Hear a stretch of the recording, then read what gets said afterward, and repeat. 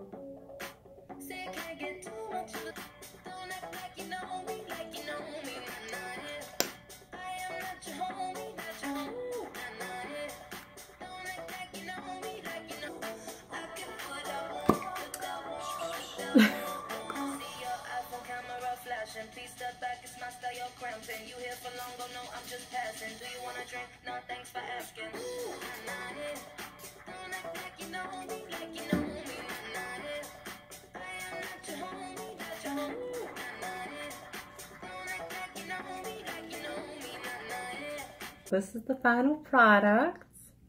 What you think? What you think? I think it came out pretty beautiful. And uh, today's inspiration behind this is because of the day.